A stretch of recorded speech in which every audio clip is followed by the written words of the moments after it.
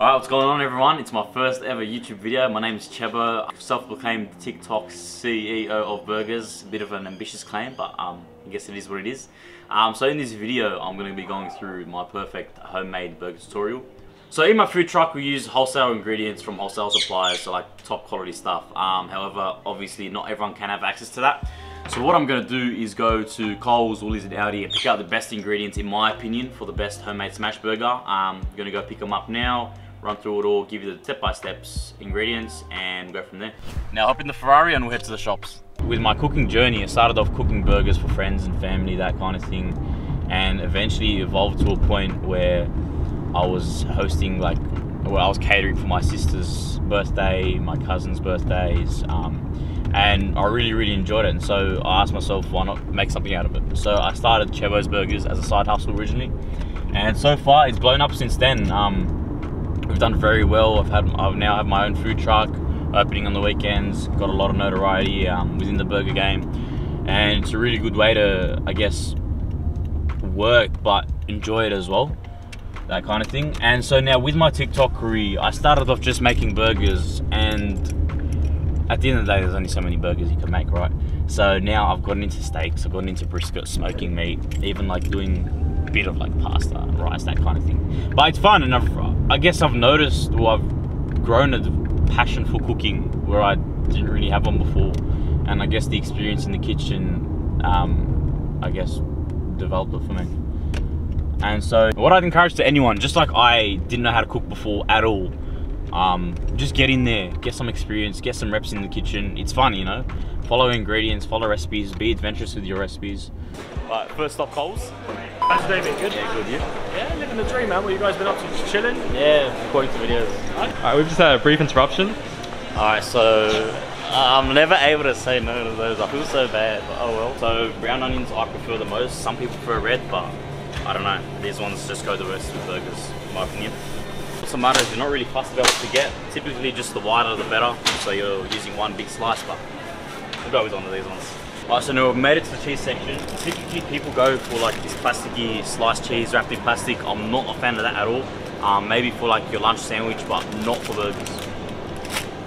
Now if you come down here, what it is, they're typically hidden away, but Dairy Lea burger slices, they are amazing. It's got that yellow American cheese, I don't know if you can see that there, um, but pretty much your best option if you're burgers at home. For lettuce, you can go iceberg, um, but I prefer green oak leaf. It looks the best. Uh, looks the best, tastes the best, good texture, simple and easy. Coles burger sauce is pretty safe, solid option if you're not bothered making your own sauce. Um, however, we're going to go through the effort and do it today for the purpose, I guess, showing you guys and yeah. The homemade burger sauce, we're going to first start with ketchup, American mustard. You can go with a chili powder of choice. And now, add some gherkin relish. Did I get everything? Coles sells these great sliced burger pickles. They go very, very good.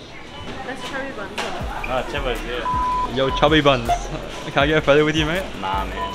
Disrespect. Disrespect. Now these are typically always sold out. Um, lucky we're in nice and early. They're the Aldi brioche buns, two dollars, two dollars fifty. You can get them. They're probably the best ones in my opinion. Woolies does sell some decent ones, but these ones have good volume, good taste, easy to go. It's from Coles and Aldi.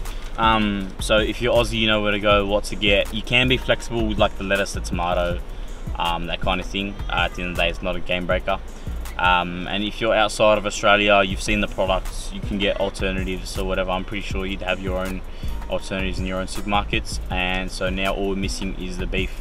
With beef, it's typically got to be 20% fat. Um, beef mince can be flexible with the fat percentage as long as there's enough there to give it the flavor, the nice sort of taste.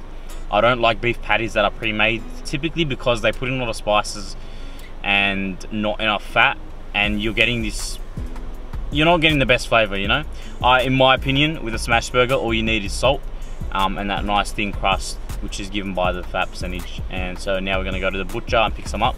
You can go Woolies can go Coles and get their pre-packed um, beef mince packets. They do fine um, but for the sake of this we're just to go what a smash burger is if you've never had one or seen one before pretty much it's a ball of beef, beef mince not a beef patty um, smashed against the grill slash griddle um, where you're developing a nice Maillard reaction which is caramelization of the fat and you're getting a nice crust on the meat patty What that does, it caramelizes the fat and gives you an amazing flavor. Where all you need is salt to bring through that nice, tasty, patty feeling taste. Yeah.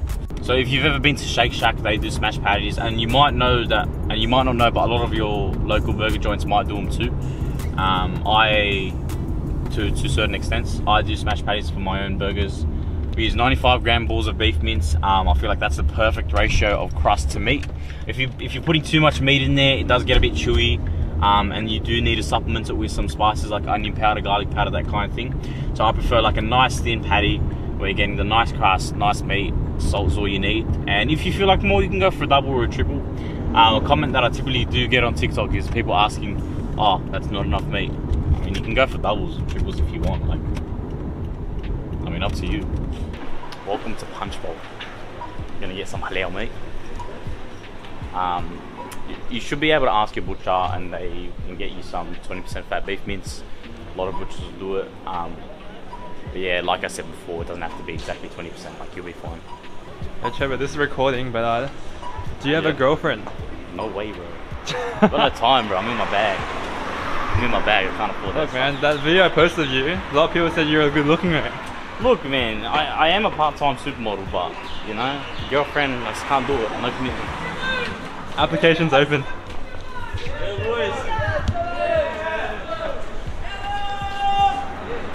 Are you? I was watching you yesterday, actually. Thank you very much. Awesome. so I'm going on YouTube, my first ever YouTube video.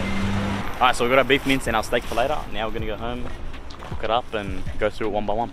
All up, this did cost around, I'd say like $40, including the meat, buns, whatever, not including the equipment. Um, so to start off, I do have a cast iron pan. If you're wondering why cast iron, for a smash burger to be perfect, you need it to stick. So you need the meat to stick to the surface. A lot of people message me on Instagram complaining about it sticking, and so when they try and flip, they're leaving all this crust on the bottom. What you need to do is get a sp- sharp spatula. Um, you can use a paint scraper. This is a very sharp one as well. And so after you smash and after the meat binds to the surface, that's where you get the crust.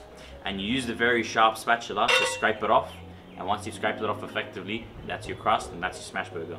I have mentioned all the ingredients in the description, so if you missed them, be sure to check it out. Um, and as I mentioned before, you can be flexible with them. It's not concrete.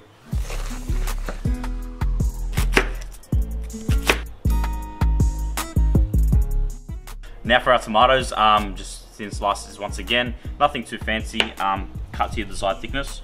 We will use two slices in this burger, just because the tomatoes aren't, oh. I'm gonna get butchered in the comment section for these my skills. Alright, so drain the pickles a bit, take some out and use them for the burger. Alright, now for our sauce, um, we're gonna make a typical special sauce. Special sauces are, in my opinion, the best sauce you can put in a burger. Pretty much the best of everything. So you've got your mustard, your mayo, your ketchup, um, in a nice blend so that nothing's too overpowering. So for example, a ketchup only burger, I find it a bit too salty. Mustard only burger, no, it's a mustard only burger. Um, mayo is a bit too creamy, and so combining all these sauces and ingredients gives you like a nice balanced taste. And in my opinion, yeah, just the best. We're gonna go two thirds of mayo. For the remaining one third, you're gonna go half ketchup and half mustard. So in essence, you're going two thirds mayo, a sixth mustard, and a sixth ketchup. Excuse my maths if I'm wrong. You're gonna go a touch of black pepper, touch of normal salt, a bit of chili of choice. This is Mexican chili powder. Finally, some gherkins. Now give it a mix. Now this is the ideal color you want. It's like a creamy, yellowy burger sauce. And for the taste test, if you can feel a nice tang in your jaw, then you know it's just right. Now we've got our beef mince. You want to go for around 95 to 100 grams. That's the perfect size in my opinion. Till it sits around comfortably in your palm. For our buns, you can go without any spread to toast them. You can go with butter. I'm going to show you the mayo trick. This is from Nick Giovanni on TikTok. Shout out to him for showing me this. So pretty much get your mayo, spread it on there in a nice, nice thin layer and toast it. And that's all you need. Now we're going to crank this one to around the medium high.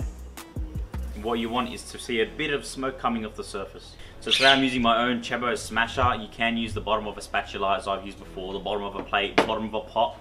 A lot of people have sent me different things that they use. Um, smasher in my opinion is the easiest thing. Stainless steel, easy to clean.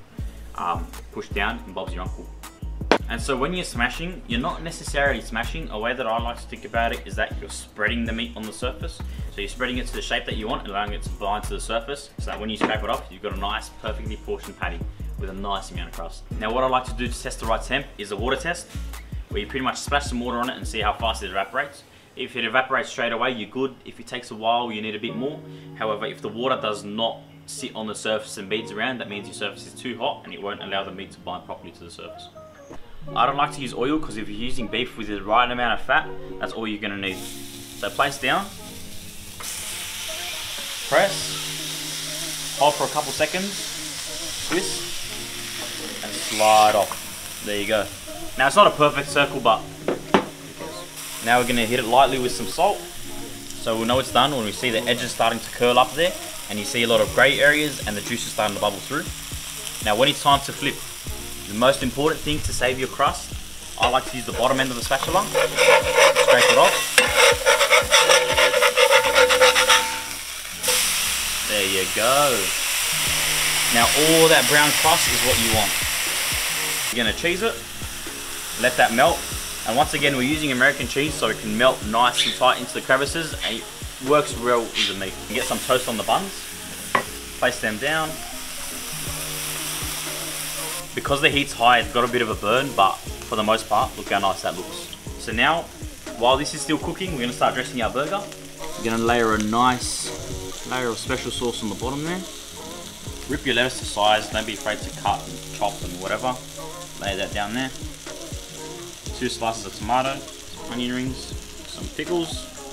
And if you're wondering why I layer them all on the bottom instead of on the top of the patty, it's so that the burger is able to be weighed down by the meat and not fall all over the place. Place that one there. Place that on top.